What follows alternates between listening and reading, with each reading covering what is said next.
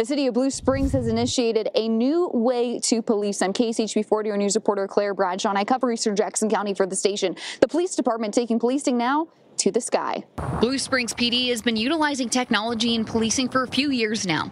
They have their mobile command center, and the city has around 50 flock license plate reader cameras, plus the ability to use enhanced search features for crime solving. BSPD also uses Flock's live 911 calls streaming into officers' vehicles to reduce response times. But the latest effort approved by City Council this week is becoming Missouri's first flock safe city for the next 10 years. Chief Bob Muenks describes this safety package as a way to continue using all of the above services and add in other investigative features like drone as first responder. Drone as first responder is where you fly the drone to the crime, and hopefully your response time will be about two minutes.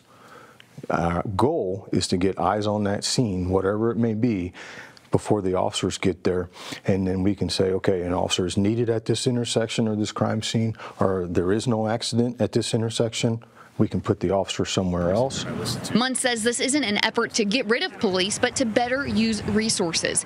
In fact, the chief says the department plans to add two more positions to its real-time crime center, and that 10-year contract totals $4.6 million. That will all be funded through the city's public safety sales tax. So when can you start to expect to see the drones in the sky and everything clicking for this Flock Safe City program?